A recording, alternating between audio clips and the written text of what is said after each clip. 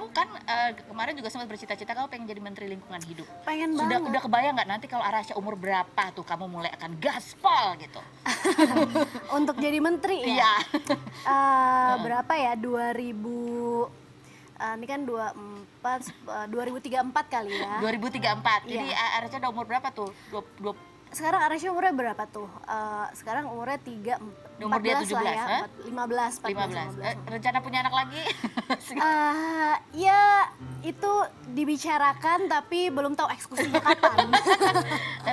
Ilmu kan ya, kamu kan sempat mencuplik dari ayah kamu kalau nggak salah bilang mengatakan harta itu bisa habis, tapi ilmu itu tidak habis. Gitu. Betul, Bahwa ilmu itu nggak akan bisa habis kalau kita gunakan ilmu kita, kalau kita bagikan ilmu kita, ilmu itu nggak akan bisa habis. Kalau uang mungkin kalau kita gunakan, kita bagikan bisa aja habis, tapi kalau ilmu enggak gitu. Dan Jadi yang sudah dipelajari pun Betul. ya nggak akan hilang lenyap gitu aja ya, karena ada Betul. banyak hal yang bisa dilakukan juga walaupun nggak di kantor. Nah betul sekarang pekerjaan itu orang ngelihat kayak um, freelancer kayak uh, di dunia entertainment pun juga banyak yang istilahnya freelancer gitu Iya. kan ataupun ibu rumah tangga itu tuh kayak di di grade gitu ya kayak apa ya nih uh, nggak ada sesuai ekspektasi nggak nggak ada gitu. kontribusi hmm, padahal nggak kayak gitu ibu-ibu rumah tangga zaman sekarang juga kece-kece banget Iya. bisa berbisnis dari rumah Impact bisa atau kontribusi itu bisa melalui banyak hal sih. ya. bisa banyak hal Ada lagi nih ya, yang berikutnya adalah mengenai eh, suami kamu kemarin kan kamu juga sempat membagikan di tahun 2020 ya, 2021 kan 2021, menjalani ya.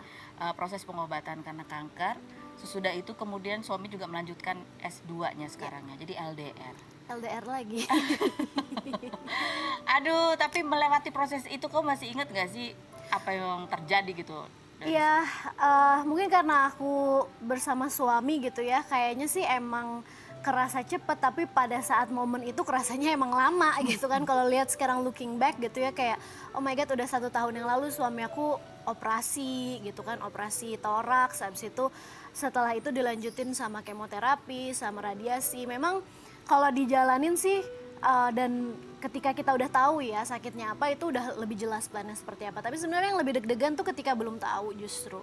Ketika kita tahu ada tumor tapi belum tahu ini tumornya jenisnya apa. Apakah ini tumor jinak atau ganas? Kalaupun ganas jenis kansernya apa? Karena possibilitiesnya bisa banyak gitu. Itu sih ketidakpastian, ketidaktahuan itu justru yang buat jadi takut gitu. Karena kayak banyak banget chancesnya gitu kan. Nah sekarang kan dia pergi nih sekolah di eh, di Amerika gitu Iya. ya. Gimana? Kamu jadi lebih protektif gitu nggak ya? Makan yang benar, ayo, ayo gitu. Kalau urusan makan jujur iya ya. Jadi aku bener-bener ngawasin banget. Dan kayak kemarin tuh kalau perlu a, si Randi tuh bawa banyak bekal gitu ya dari Indonesia supaya bisa make sure bahwa yang dimakan adalah yang kita masak gitu Oh, kan. oh, Nggak nggak nggak makan nggak banyak makan di luar yang kayak kita nggak tahu sebenarnya apa gitu. mm, ingredientsnya apa apa ditambahin bahan-bahan kimia Jadi gitu. kamu masakin apa? Eh, mama sih sebenarnya yang masak.